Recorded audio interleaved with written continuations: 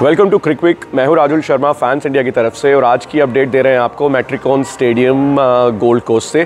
Gold Coast का weather usually काफ़ी अच्छा होता है, सुहावना होता है, गर्म रहता है यहाँ मौसम बट पिछले दो दिनों से हम देख रहे हैं कि बारिश होने के बाद काफ़ी ठंड हो जाती है और मेरी जैकेट भी ऑन है। तो मैच की, जैसा आपको पता है कि लड़कियों ने धूम मचाई हुई है ऑस्ट्रेलिया के अंदर।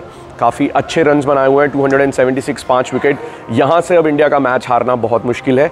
मैच ड्रॉ की तरफ़ जा रहा है बट उम्मीद ये करते हैं कि लड़कियाँ अच्छा और खेलेंगी अगले दो दिन में। और हो सकता है कि ऑस्ट्रेलिया को दो बार आउट करने में भी कामयाब रहें। इंडिया की बॉलिंग लाइनअप काफ़ी स्ट्रॉन्ग है। और देखना होगा कि किस तरह से खेलती हैं लड़कियाँ।